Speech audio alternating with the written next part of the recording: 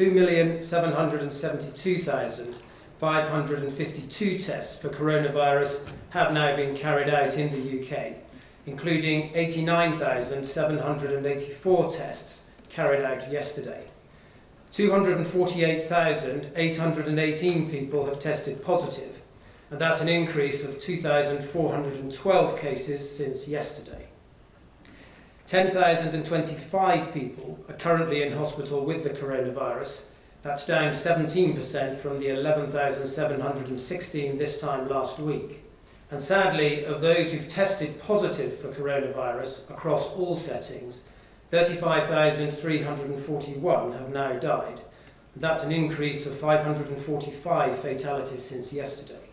And of course, our thoughts are with the families of all of those who've lost their lives to this virus. We will need to rely on British workers to lend a hand to help bring that harvest home. Over the last couple of months, we have been working with industry uh, on a plan to support and help people taking second jobs, particularly those who are furloughed. And we have launched a new Pick for Britain website uh, that enables people to go online, check what job uh, issues there are, what job availability there is, and to marry up job opportunities from growers and employers uh, with those people seeking uh, a second job.